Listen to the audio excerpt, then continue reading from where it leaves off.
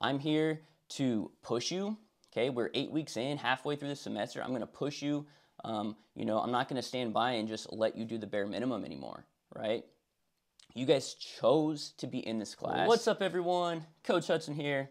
Uh, for those of you that don't know, um, I started teaching high school PE and coaching beginning weights this year. And today I wanted to talk about intent, um, creating with intent, doing things with a purpose.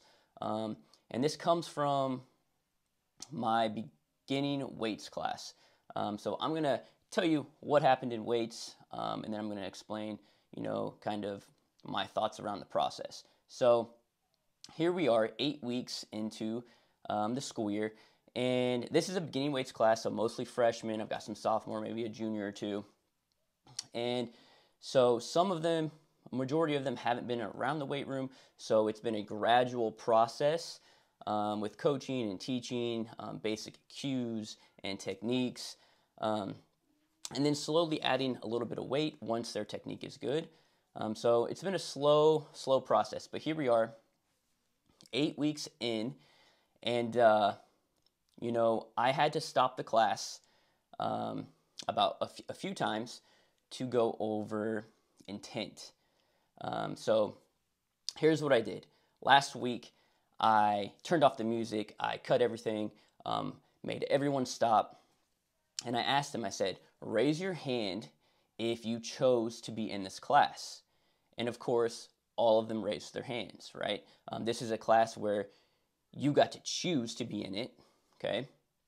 And the majority of the students are athletes, right? Looking to um, improve their physique or get better skill wise, um, build muscle, strength, right? All that stuff. Be active.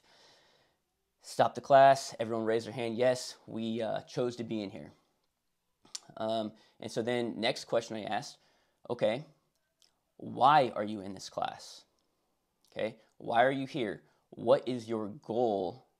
Um, what is your outcome of taking this class? And I only had about three or four students raise their hands, and I asked them, um, you know, some of the answers were I want to build muscle, I want to get stronger, um, I want to stay active, um, I want to get, you know, um, faster, I want to do all these things, right? Um, and I told them, look, you know, those are all very good goals, but what I was seeing in this class was students just going through the motion and just trying to get by. They were just going through the sets, they were just going through the reps, um, and that is not what I want. Okay, at the beginning of the, the semester, it was okay, right? But here we are, everyone knows form, everyone knows what they're doing. Um, I've explained things very well, they know the expectations. And, uh, you know, I told them, I said, hey, look, those of you that said you want to build muscle and strength, right? Well, you can't still be doing the same weight that you were eight weeks ago. You should be progressing, right? Progressive overload. You should be adding weight to the bar. Um, for example, um, you know, a lot of the students in the class, they'll put on a weight. Um, you know, say we're doing three sets of eight, right? They'll put on a weight where they're doing, they could get 20 reps, but they're they're, they're stopping at eight, right? That's not what I want. I want them to be putting enough weight on the bar to where they can barely get eight reps, maybe leave it one or two in the tank, right? Um, and I told them, I said, look, man, you know, you're not going to get better, right, if you're doing the same weight and just trying to get by and just going through the motions. I don't want them going through the motions. That is not how you get better. That is not how you change, right?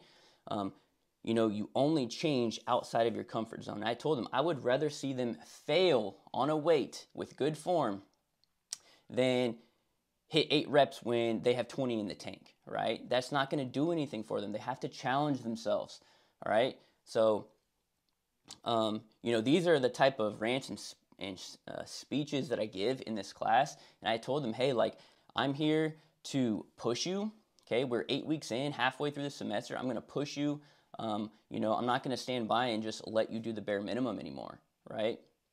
You guys chose to be in this class. So I want you to really think and go through the motions with intent, right? You have to go through the motions with intent, right? It, intentions is everything. Um, and so I wanted to share this with you all um, because I think that this can be applied to any aspect of your life, right?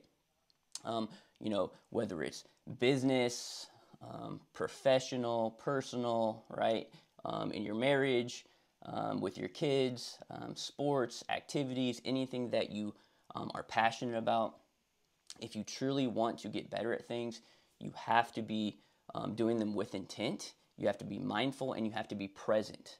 Okay, so I honestly didn't know that I would like high school, but I'm act I'm falling in love with um, teaching these high school students that it's more than just you know the skills.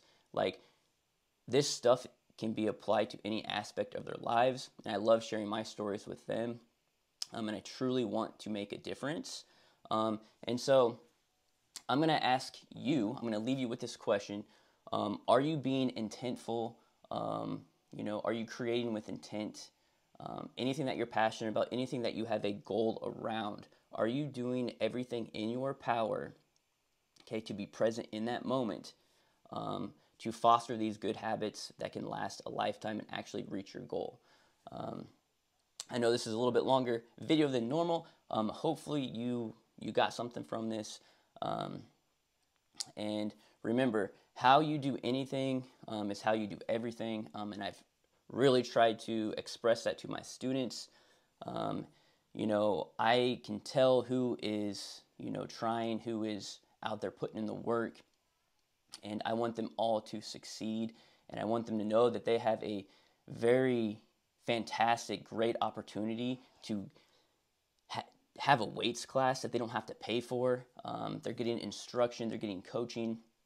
I mean, this stuff they can use for the rest of their life, right? So, um, I just I just want to leave this with you know I just want you to think about doing the, everything that you're passionate about with intent, being mindful and being present. Okay, um, so take that however you want. Um, if you'd like to see more of these videos, leave a comment below. Please share um, this this video with someone um, that needs to hear it. Okay. Um, with that being said, I hope you all have a fantastic day. Um, see you later.